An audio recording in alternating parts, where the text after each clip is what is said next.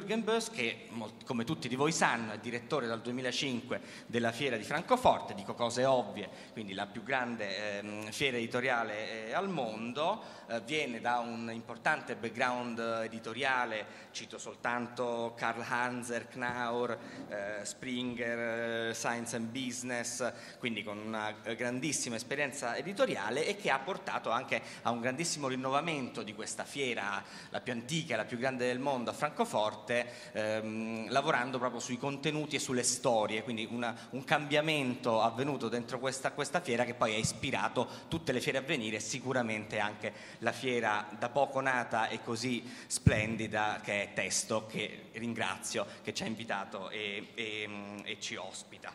Um, accanto a me, ho l'onore e ringrazio Testo in particolare perché sono felicissimo di, di, di sedere accanto a Christoph Franz Mayer, che scrittore che leggo, ammiro eh, e amo da oltre 25 anni, ehm, che appunto anche lui ha poco bisogno della mia presentazione, ehm, un uomo appunto grande autore, lo diceva bene Andrea, uno dei maggiori scrittori viventi in lingua, eh, in lingua tedesca, uno dei maggiori scrittori viventi austriaci, ehm, grande viaggiatore, si definisce, ne parleremo probabilmente, seminomade e anche le conversazioni per, per portarlo qui a Firenze sono state molto belle perché ogni volta arrivavano mail dall'Alto Egitto, da una verdissima isola sul Nilo, quindi con, con, facendoci vivere eh, a distanza un po' di questa vita eh, raminga.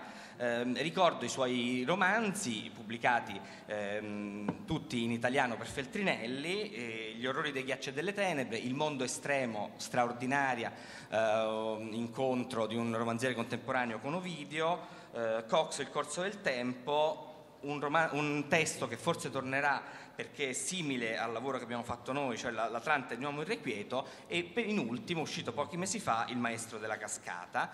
Eh, per questi libri ehm, Franz Bayer ha vinto numerosissimi premi, anche mi fa piacere citarli in Italia, dove appunto è molto riconosciuto e molto amato, e, ha vinto il Grinzane Cavour, ha vinto l'ITAS, quindi il premio per il libro di montagna, ha vinto il Mondello Internazionale, eh, che tra l'altro ha vinto anche eh, di recente una nostra altra autrice, Annie Ernaux, che ha poi eh, di conseguenza anche vinto il, il, il, Nobel. La sua fama è anche oltre i confini tedeschi, basta pensare al premio Miglior Livre étranger vinto eh, in Francia eh, e cito questi premi e poi eh, mi, mi, taccio e passo la parola perché sono quintessenziali anche al libro che andiamo oggi a presentare, appunto L'inchino del gigante, perché una parte dei testi di questo volume che adesso capiremo come è stato fatto e che cos'è, sono discorsi legati a premi vinti. E questi parlano della maniera in cui Christoph Franz Mayer pensa al suo essere scrittore, che è soprattutto un,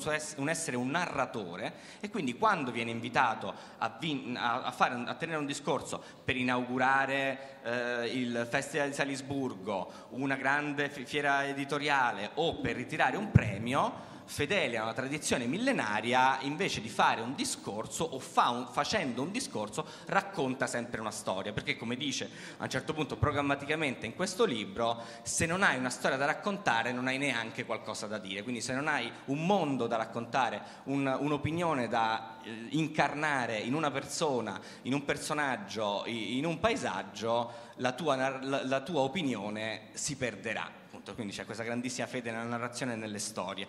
E su questa introduzione generale passo la parola a Jürgen Boss.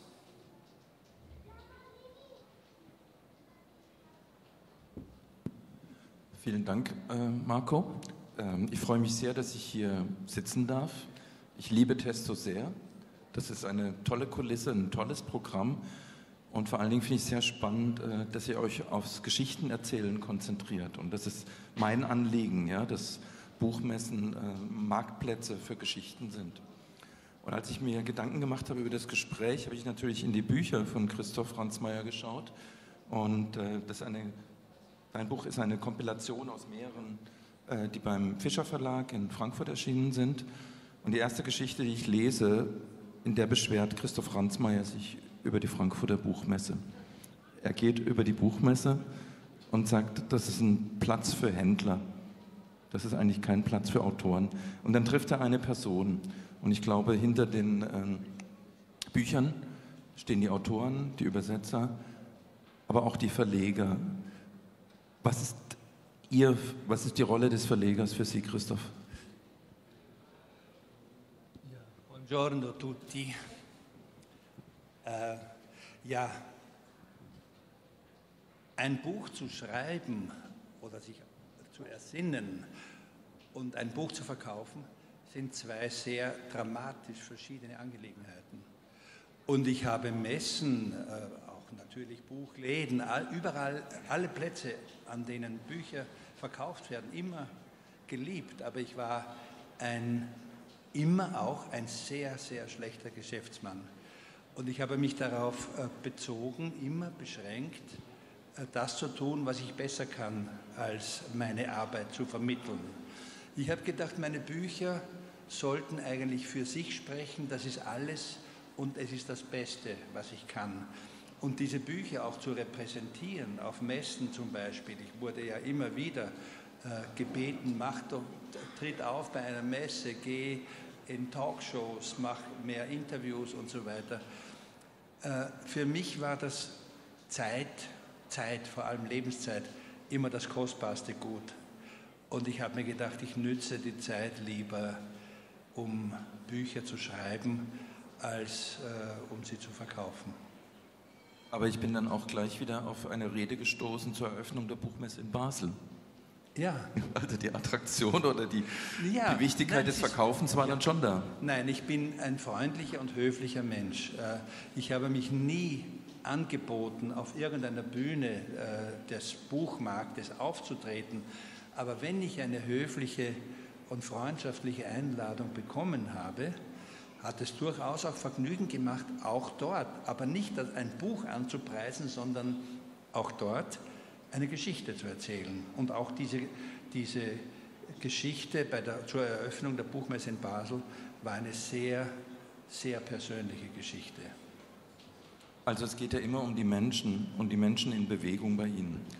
Ja, und ähm, was mir jetzt beim Wiederlesen aufgefallen ist, dass es ohne die Begegnung und aber auch die ferne Begegnung keine Geschichten gibt.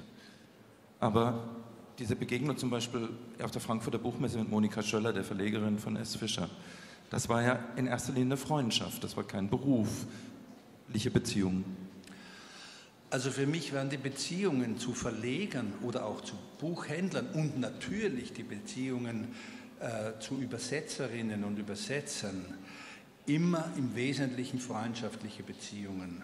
Zu der großen Verlegerin Monika Schöller hatte ich eine Freundschaft 20 Jahre lang, bevor sie zu meiner Verlegerin wurde. Also das Verlegen kam dann sozusagen dazu. Das, das, das, die, die Zusammenarbeit war dann auch ein Ergebnis einer jahrelangen oder fast jahrzehntelangen Freundschaft. Äh, und so ist es mit allen äh, anderen Menschen, die mir geholfen haben, äh, ein Publikum, Leser, auch Käufer für meine Bücher zu finden, dass, alle die, dass ich mit allen diesen Menschen, Verlegern, Übersetzern, Buchhändlern, in mehr oder weniger tiefer Freundschaft verbunden war und bin.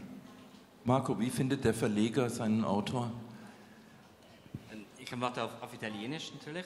Eh, sì, in questo caso è stato appunto mh, eh, studiare, eh, amare la letteratura di lingua tedesca eh, e conoscere Christian Franz Mayer coincidono, non si, può, eh, non si, può, passare accanto a un autore di questa importanza. Nel mio specifico mi permetto un momento eh, autobiografico, io incontro i, i, romanzi di Franz Mayer quando sono in Erasmus in Germania, a Tübingen, a Tubinga, ehm, è il mio primo esame in tedesco, ancora lo ricordo con grande vergogna, Bologna in cui leggevamo appunto letteratura contemporanea e io scelsi Morbus Chitara, il um, terzo romanzo di, di, di, di, Ransmayer, come libro di cui parlare alla classe in pubblico, quindi fu uno sforzo anche um, diciamo, di, timidezza intellettuale notevole e poi da lì, lo dicevo, non era una, un'immagine, sono quindi 25 anni che continuo um, a, a leggerlo, i suoi libri sono stati presto recepiti in Italia, pubblicati appunto da,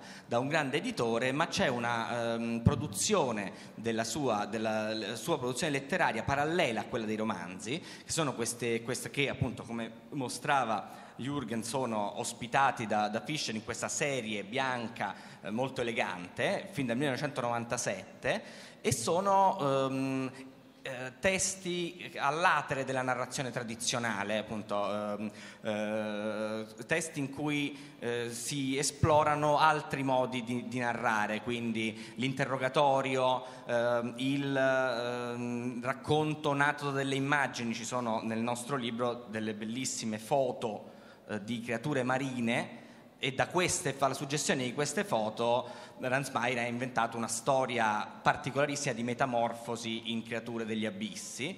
Eh, vi sono appunto il, il, il genere del, del, discorso, quindi nel momento in cui volevamo uh, diventare gli editori eh, di Ransmayr abbiamo deciso di raccogliere cinque di questi, di questi libri con il tema centrale del, del, del viaggio, così mh, eh, quintessenziale nella, nella, produzione e nella vita di Christian Franz Mayer, li abbiamo sottoposti all'autore che con molta intelligenza ci ha scartato una delle nostre proposte e ha consigliato di mettere dentro proprio il racconto legato ai, ai signore e signori sott'acqua, si chiama, il racconto legato alle immagini che dicevamo, dandoci subito questa grande suggestione, dice, in fondo la metamorfosi non è la forma più estrema di viaggio e quindi dando una, una direzione molto chiara al libro che volevamo inventare, presentare ai lettori italiani, che quindi è diventato L'inchino del gigante, cinque brevi libri di viaggi e metamorfosi. E adesso, come accade in quel miracolo che è quando si fa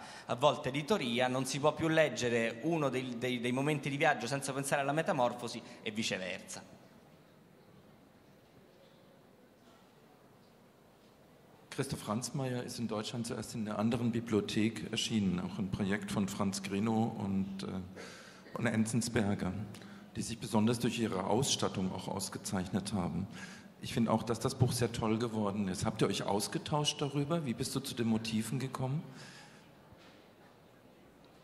No, in realtà non ci siamo eh, eh, diciamo, direttamente confrontati, il nostro grafico Antonio Almeida, che conosce molto bene i libri che pubblichiamo, quindi non è un grafico esterno, è un grafico interno alla casa editrice, si è ispirato al fatto che si scopre leggendo il libro che il titolo proviene da una bellissima narrazione di viaggio in Cina con, um, compiuta con Enzensberger in cui in, un, in, una narrazione di traduzione viene raccontato come il titolo della più famosa raccolta, uno dei più bei poemi diciamo, del dopoguerra tedesco ed europeo, La fine del Titanic di, di Enzensberger, in eh, una lingua asiatica, giapponese, cinese, nella, nella finzione non viene ricordato esattamente quale fosse, fa talmente tanti giri di differenza culturale per cui diventa l'inchino del gigante. Quindi il grafico con grande intelligenza ha recuperato eh, il Titanic e il suo iceberg eh, appena visibile e faceva molto, ci faceva l'onore Cristo Franz Mayer prima di dirci quanto ha apprezzato la copertina.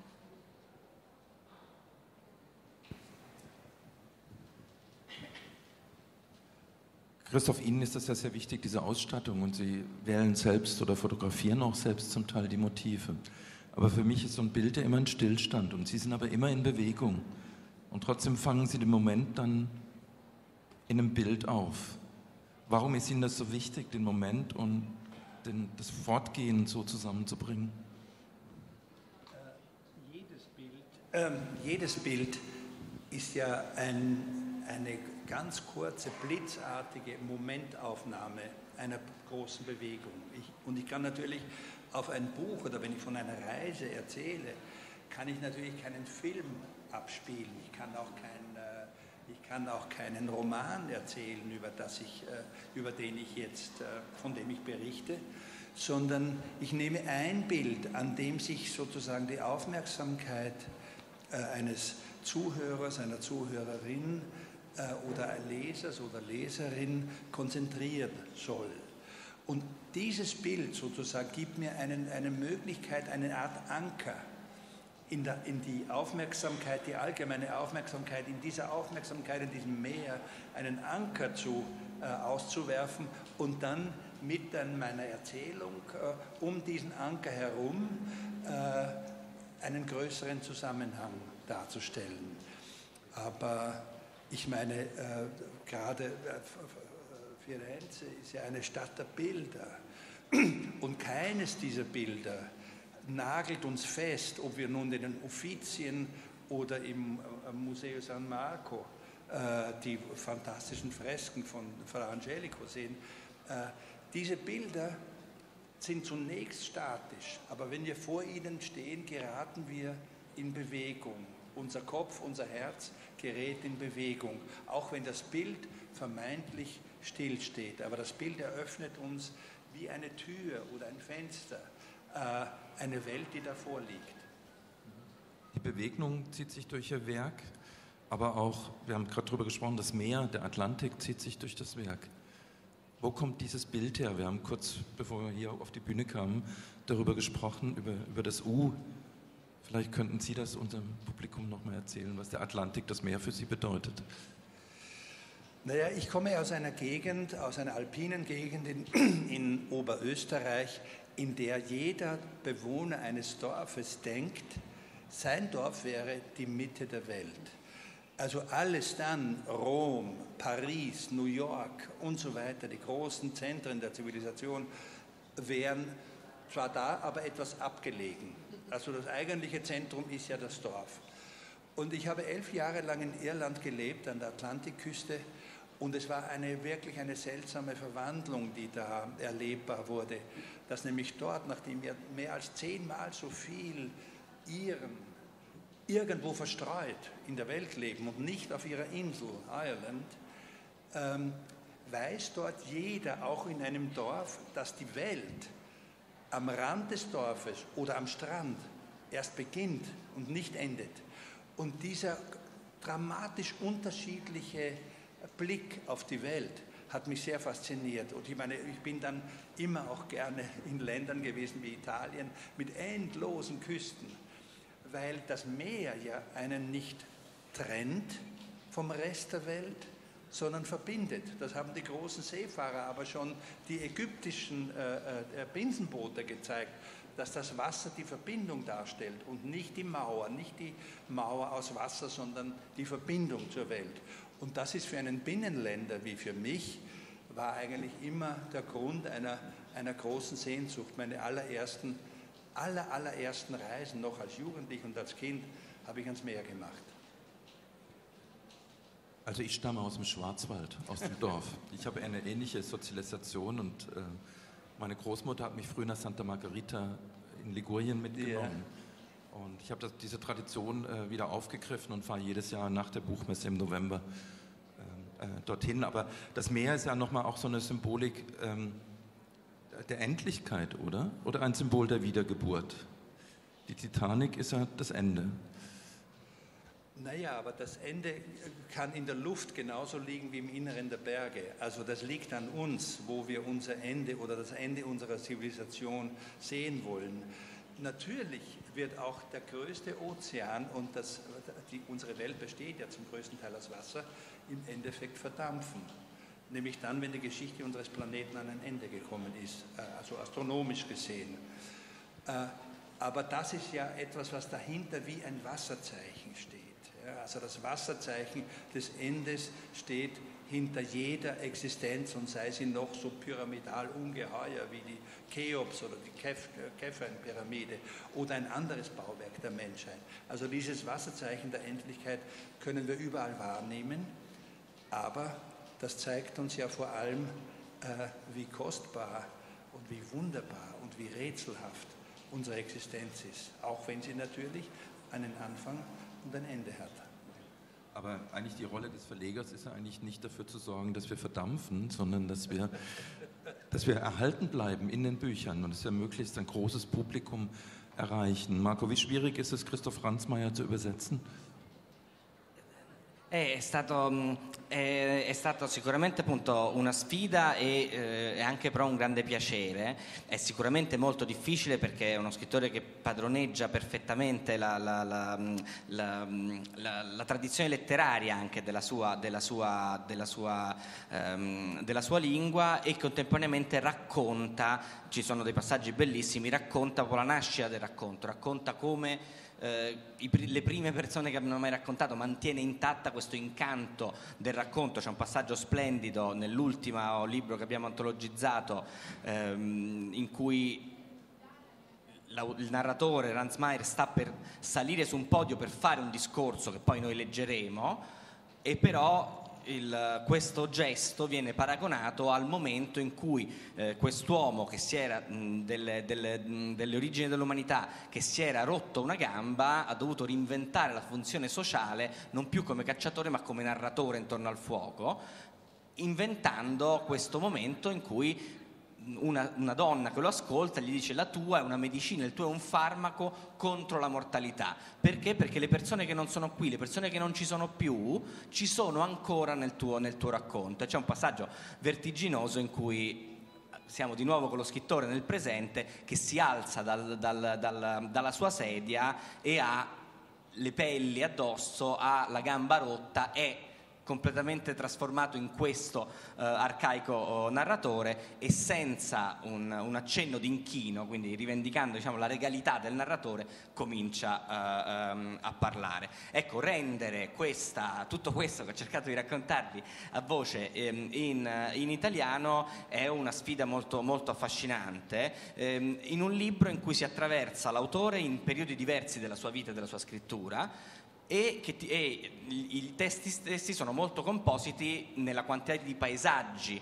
che ti offrono, quindi anche per il lettore è, come è stato giustamente detto in una bella recensione che è appena uscita di Melania Mazzucco, un caleidoscopio proprio di viaggi e di, e di esperienze. E quello che fa il traduttore eh, in questo caso è, è, darsi un criterio, quindi uno dei criteri, visto che le direzioni possono essere tanti, uno dei criteri che io ho scelto è cercare di rispettare l'ampiezza della frase di, di Christoph Franz Mayer, che ha spesso queste eh, volute che gestisce benissimo di lunghe architetture dentro una frase che contemporaneamente è commovente e ironica, nel racconto di cui parlavo che veniva dalle immagini ci sono, ci sono questi abissi sublimi e questi personaggi nevrotici che li abitano e questa cosa coincide. Ecco, io ho cercato di lavorare in questa direzione, quindi la cosa che mi sono detto, le frasi resteranno di quella lunghezza, adesso può sembrare un metro molto semplice, però rispetto ad altri autori o ad altri momenti in cui cerchi altri criteri, questo è sicuramente stato un criterio che ho cercato di utilizzare, al netto di sintassi molto diverse come sono quella italiana e quella tedesca.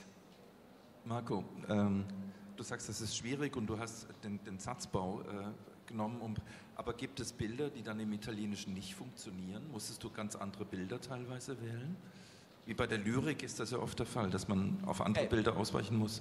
Probabilmente sì, ci sono a volte dei giochi di parole che si basano ovviamente su uh, uh, immagini proprie di una lingua e non di un'altra, però il, il punto è tenere diciamo, lo stesso gioco che, che, l'autore sta facendo, l'immagine del viaggio, appunto visto che il libro ti fa riflettere molto sul viaggio, io ho pensato più volte come di essere su un treno tutto il percorso è deciso da Christian Franz Mayer perché sto andando dove lui ha scritto, però lui sta guardando il paesaggio a destra, io guardo il paesaggio a sinistra, nel senso quindi è un paesaggio che poi ci sono anche tratti, costi, tratti in cui il paesaggio può essere diversissimo, no? appunto sulle coste, perché? Perché quel paesaggio lì è quello che devo raccontare di questo viaggio, ma con quello strumento paesaggistico che è la mia lingua italiana e non la lingua tedesca. Marco, wie findet das Buch seine Leser? Muss äh, Christoph jetzt am Montag bei Todomodo in der Buchhandlung auftreten? Muss er nach Turin fahren, nach Rom fahren? Er will ja eh immer reisen. Aber er sitzt ja nicht gerne. Er kauft, alle, er kauft alle Bücher selber. Nein, wie findet das Buch seine Leser? Eh, grazie a, a, realtà come queste, in cui appunto sono, ci sono incontri, si crea uh, un evento intorno a un libro, grazie a tutto il lavoro della stampa, a quello che citavo prima, i premi, che soprattutto con gli autori stranieri sono proprio luoghi in cui la critica incontra pub- il pubblico e dà una direzione, e grazie anche al lavoro pregresso, grazie al lavoro del grafico, ovviamente che è la prima modo in cui un libro si presenta in, in, in, in libreria, grazie ai librai che eh, soprattutto sposano o decidono il, moltissimo la fortuna di un libro e grazie anche al lavoro dell'editore, ma non solo quello del momento, al lavoro fatto negli anni, quindi a essere un editore che ha cercato di presentare un certo tipo di letteratura in una certa maniera e quindi ormai ha un pubblico che lo guarda. Esattamente, poi è più facile far trovare il suo pubblico Christoph Franz Mayer, che è un autore appunto già noto in Italia, amato, noto internazionalmente rispetto ad autori appunto, che a volte ci di pubblicare ehm, che sono invece eh, tutti da creare uno, nello spazio culturale italiano. Aber es ist natürlich so, dass sich um jedes Buch, um jede Erzählung eine größere oder eine kleinere Familie bildet. Also es, es ist immer ein, ein sehr familiäres Ereignis. Äh, ich erinnere mich, äh, ich war oft in Marokko und dort gibt es diesen berühmten Platz Jema Elfna, den Platz der Gehängten. Der ist ein Platz, der sich vor dem Zug, also äh, wenn die Menschen äh, einkaufen gehen, um sich Textilien oder Lebensmittel zu kaufen, überqueren sie diesen Platz und dort stehen die Märchenerzähler und schreien oder singen oder flüstern ihre Märchen. Da stehen dann 20, 30 Erzähler und wer auf einem Dach an diesem Platz, auf einem Dachcafé, hinunter sieht, sieht diese Menschen, diese Erzähler.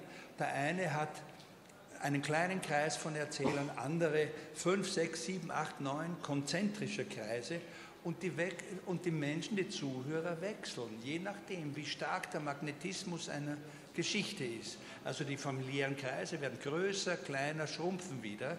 Und so ist es natürlich auch mit dem, mit dem Buchmarkt, dass die, der Magnetismus, die Anziehungskraft einer Geschichte unterschiedlich große, eine unterschiedlich große Zahl von Menschen an sich zieht. Und ich habe mir nie, nie eingebildet, äh, ein, ein, ein, Erzähler, ein Schriftsteller für alle zu sein. Ich wollte, es wäre kindisch, das auch nur zu wollen.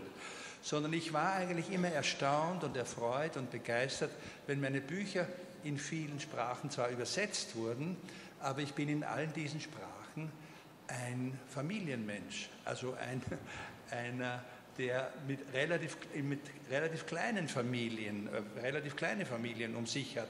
Aber es ist für mich, für mein Leben als Erzähler, ist der, ist der Zauber der Übersetzung groß genug. Also ich äh, muss nicht, äh, sagen wir mal, im San Siro-Stadion äh, auf dem Anstoßpunkt mit, mit meinem Lesepult äh, äh, sitzen und lesen, sondern es ist wunderbar hier bei Ihnen in diesem Rahmen. es reicht. Ich finde, für mich reicht es. Und wenn solange der arme Verleger Marco nicht pleite geht. Er kann natürlich, das Risiko ist groß, ja, immer, für alle Verleger.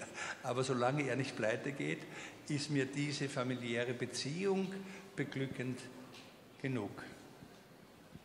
Ähm, Christoph Ransmayr hat jetzt gerade ein neues Bild für mich aufgemacht. Ich habe immer gedacht, der Autor schreibt in erster Linie für sich selbst. Aber da gibt es auch Autoren, die schreiben für ein Publikum, großes, möglichst gesehen werden, zu verkaufen. Aber sie schreiben für die Familie. Richtig, und das finde ja. ich sehr toll. Und ich glaube, das ist auch ein Bild des Verlegers. Besonders hier in Italien habe ich sehr stark erlebt. Erstmal ist es eine Verlegerfamilie in, in Italien. Man tauscht sich sehr viel aus, man trifft sich, man kennt sich aber ich habe auch immer das Gefühl, ihr sucht sehr genau eure Familien aus. Ihr mit der französischen Sprache, mit dem Deutschen. Ja, wie, wie bist du da gelandet? Wie hast du deine Familie gefunden als Verleger? War stato... Studium in Tübingen? No, è stato, in realtà è successo appunto dopo, dopo, lo studio, dopo tutto un percorso universitario, ho trovato soprattutto eh, mio, quello che i tedeschi chiamano Lebemensch, quindi eh, la persona della mia vita che è Lorenzo Flabbi, che è l'altro editore eh, dell'Orma Editore e da lì in maniera ehm, non forse troppo diversa, è la prima volta che, che faccio questa analogia al, al, allo stile di vita che racconta e che rappresenta Cristo Franz Mayer col suo seminomadismo, con la sua idea così affascinante che ci ha appena raccontato del, di cosa significa pubblicare un libro ehm, abbiamo scelto, parlo al plurale perché è una scelta condivisa appunto con Lorenzo Flabbi, esistenzialmente di fare questo mestiere, qualcosa che forse soprattutto nell'editoria indipendente è molto um, diffusa, quindi è un modo di stare al mondo, di decidere appunto, non far decidere al sangue chi è la tua famiglia, ma farlo decidere dalle tue scelte, dai luoghi dove vai a vivere, non far decidere dal fatto di essere nato in un posto che sarà lì per tutta la vita, quindi prendere in mano la propria esistenza in questa maniera e decidere chi sono i propri, chi sono i tuoi in modo poi da essere in qualche modo poi riconoscibili anche per gli altri e qualcun altro alzerà la testa e dirà vedi anche io voglio far parte di quella famiglia perché il bello di questo modo di pensare alle famiglie è che non passa per il sangue, non passa per le etnie, non passa per qualcosa di deciso prima ma è un'appartenenza aperta come, come nelle amicizie, come nei gruppi. Poi ci si perde, si litiga, figuriamoci. Però c'è questa apertura che dipende da, a volte dai momenti, a volte dal, dal, dal da, da, dai tempi e, e, però è un modo appunto di professare propria, la, il proprio mestiere eh, come stile di vita appunto. Bei Christoph Franzmeier bei Besprechungen, Kritiken findet man immer wieder den, entweder das Begriff des Nomaden, Halbnomaden, den habt ihr jetzt benutzt, aber auch der Tourist. Bei dem Tourist ist für mich das Bild, fährt jemand weg und kommt wieder zurück und bringt die Geschichte zurück. Der Nomade ist für mich ein Getriebener. Er kann gar nicht anders, weil er, weiß ich, wegen Nahrung, wegen irgendwas, ja, muss er weiterziehen. Sind Sie ein Getriebener, Christoph? Naja, immer auf der Suche nach Lebensmitteln im weiteren Sinn. Also das können natürlich äh, nicht nur die tatsächlich verzehrbaren Mittel sein, sondern auch äh, Mittel der Kunst äh, oder natürlich die jeweiligen Geschichten, die, Neug, die, die Neugier, die einen treibt. Ja, weil mit, mit jedem erreichten Ziel zeigt sich ja, dass am Horizont oder in mittlerer Ferne wieder Berge, wieder Gebäude, wieder Küsten sich finden, von denen man noch nie etwas gesehen oder gehört hat. Das heißt, es geht, ein Ziel lässt sich grundsätzlich nicht erreichen, ohne einen ganzen Strauß anderer Ziele am äh, am Endpunkt einer Reise zu sehen, also sich dann zu motivieren, den nächsten und nächsten und weiteren Schritt zu tun, also die Neugier, die Neugier auf die Welt. Und es ist ja so, dass uns Reisen, die Bewegung, das muss keine transatlantische oder transkontinentale Reise sein. Es gibt ja innere und äußere Bewegungen,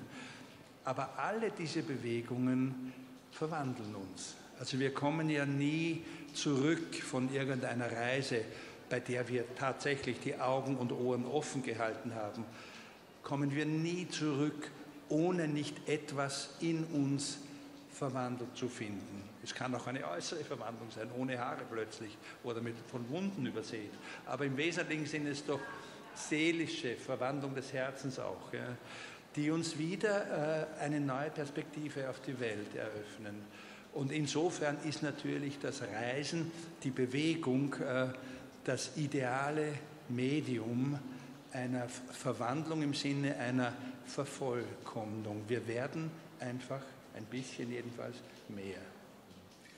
Äh, Sie haben es was beantwortet, was ich als nächstes fragen wollte, weil eigentlich hat es immer sehr weit weggezogen. Mich hat beim Wiederlesen so eine Geschichte sehr berührt, wo Sie, glaube ich, im tibetanischen Hochland unterwegs sind und äh, Ihr vorheriger Gastgeber läuft hinterher und will die Flasche wieder haben, die kleine Flasche.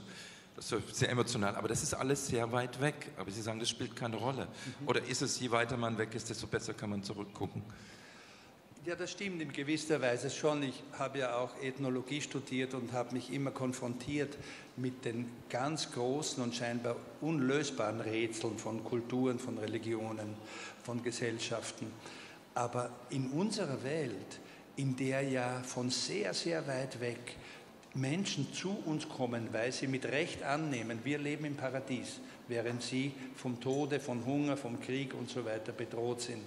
Diese Menschen bringen ja eine Welt mit, von der wir keine Ahnung haben. Und wenn wir, indem wir nur in die, nächste Souterrain, Zuflucht gehen und mit diesen Leuten und ihrer Bedürftigkeit uns unterhalten, dann machen wir auch oft Reisen, die, wir, die weiter sind als jede Reise, die wir mit dem Flugzeug machen können.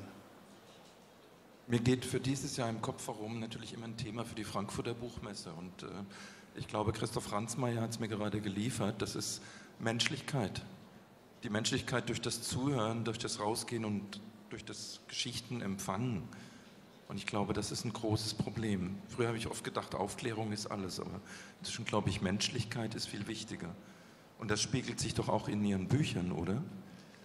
Ja, ich könnte, wenn mich das, was Menschen zustößt, wo, wofür sie sich begeistern, wovor sie sich fürchten oder worüber sie auch Hass empfinden, ich könnte ohne das Erlebnis dieser, dieser Gefühle, dieser Stürme, die in unseren Herzen oder in unseren Köpfen losgehen, könnte ich nicht schreiben. Ich muss vor allem zu, zunächst mal, um etwas wie es war einmal sagen zu können, muss ich sehr lange still sein und sehr lange zuhören und mich sehr lange bewegen lassen von dem, was ich höre. Und mein Freund, leider im, Dezember verstorben, Hans Magnus Enzensberger, hat eine wunderbare Formel gesagt für, für das, was Literatur im weitesten Sinn braucht. Er hat gesagt, und die ist so, so revolutionär und so einfach wie die Einsteinsche Formel äh, Masse mal Geschwindigkeit. Er hat gesagt, für das Erzählen, die Literatur bedarf nur zweier Dinge, einer Stimme und eines Ohrs.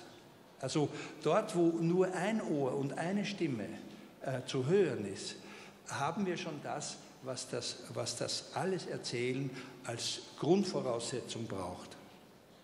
Ähm, Sie haben jetzt gerade Hans Magnus Enzensberger erwähnt und dann muss ich mal was ganz Privates fragen, weil ich habe früher die Ausgaben von Transatlantik äh, mir immer gekauft. Und darunter stand Journal des Luxus und der Moden.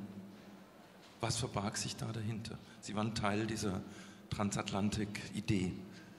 Warum Luxus? Naja, Ist das Bewegung war Luxus? Ein Zitat aus dem, aus dem 18. Jahrhundert, 19. Jahrhundert, aber es war natürlich auch ein ironischer Hinweis darauf, dass vieles, was wir als, als äh, in unserem Katalog wichtiger Themen haben, natürlich äh, längst nicht die Welt abdeckt, sondern dass vieles, was uns luxuriös erscheint, überflüssig erscheint, wozu sollen wir uns jetzt für, wozu sollen wir uns jetzt für die Bestattungsrituale äh, des äh, ägyptischen Pharaos Nofru, des Vaters von Cheops, warum sollen wir uns dafür erinnern?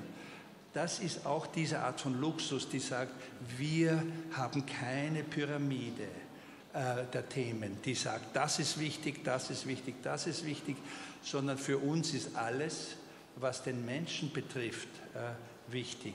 Und das kann man auch in einem Journal abhandeln, das Luxus unter Moden heißt. Das heißt, der Luxus ist auszuwählen. Richtig, genau, ja. Und warum hat Transatlantik nicht funktioniert? Lag das, war die Familie zu klein? Oder ja, lag das bei den Herausgebern Gaston Salvatore, Enzensberger? Nein, es, ich glaube, es war so, das war eine, eine äh, sehr schön gestaltete Monatszeitschrift, äh, die ein Versuch war, im deutschsprachigen Raum etwas wie einen New Yorker zu etablieren. Und dafür fehlten einfach äh, die Leser auf lange Sicht, denn eine Reportage, die im New Yorker 40 Seiten lang ist, die war einfach nicht vorstellbar. Ja, schon vorstellbar und auch machbar, aber nicht verkaufbar, wie im, in der Zeitschrift Transatlantik. Ja, schade, aber ich wollte es immer mal. Das war jetzt eine private Frage eher nicht. Aber mich interessiert natürlich immer, wie, wie schaffen wir es jetzt, die, ähm, die Familie wachsen zu lassen? Ja? Also wir müssen ja immer noch mehr Freunde finden, das heißt, wir müssen rausgehen. Und dazu ist natürlich die Rolle des Übersetzers die, die ganz, ganz wichtige. Wie kann ich als Autor äh, eigentlich rausfinden, passt der Übersetzer zu mir? Aber das ist die Rolle von Marco. Ist das deine Rolle? Eh, sì, è, è, è, è, difficile trovare, appunto, una, è, sempre una questione per noi, appunto, qua come, visto che facciamo libri, letteratura che, che ha un senso proprio sua, uh, nel suo stile, quindi nella lingua in cui viene, nel, nella lingua in cui viene scritta, passarla in un'altra lingua è, centrale che venga fatto nella, nella maniera assolutamente migliore e trovare il giusto, il giusto traduttore. Noi conosciamo, un, conosciamo, diversi traduttori molto bravi e soprattutto facciamo diciamo, una sorta di eh, controllo durante, durante, tagliando durante la, la, la, le prime fasi di traduzione, quindi dopo um, prime 10-20 pagine il traduttore che lavora con l'ormanitore fa una, ci fa un, una telefonata o ci si vede o a distanza e ci si, discu- si discutono quelli che citavo prima, i criteri, quindi si discute come pensi ci si confronta di eh, affrontare questo autore con quei criteri e, e sono, è qualcosa che aiuta a trovare, abbiamo visto nel tempo, il, il, il buono traduttore. Quindi, eh, aiutando le persone a interrogarsi sul testo, a fare qualcosa pensando, che sembra molto banale, ma poi negli automatismi, un'attività molto pratica, si rischia di farla senza eh, avere un, un, surplus di riflessione, mentre invece eh, cerchiamo di costringere le persone a riflettere insieme a noi. Diciamo.